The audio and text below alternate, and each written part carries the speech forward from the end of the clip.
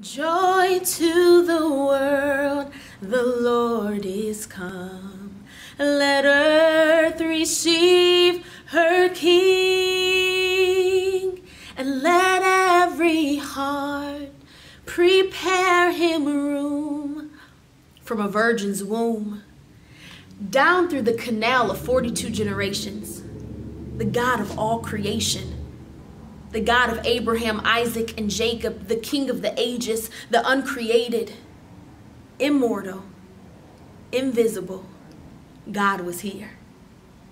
Does that not blow your mind? I mean, this is the God of all flesh, the God who by his outstretched arm changes the times and the seasons. He rules over all of the kingdoms of the nations and removes and sets up kings. He could have just sent somebody here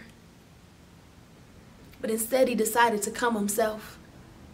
And not as a fully grown man, powerful and strong, riding on the wings of angels or horses with chariots of fire. No, he came as a baby, frail and weak.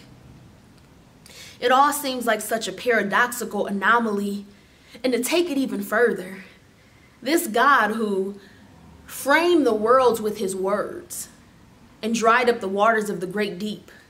The one who created all things and is exalted as head above all had no place to lay his head at all.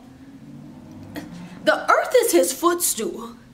Heaven is his throne, and yet he's looking for someone to build a home for him. It, it just doesn't make sense. Even foxes have dens, birds have nests, but the Son of Man, nothing?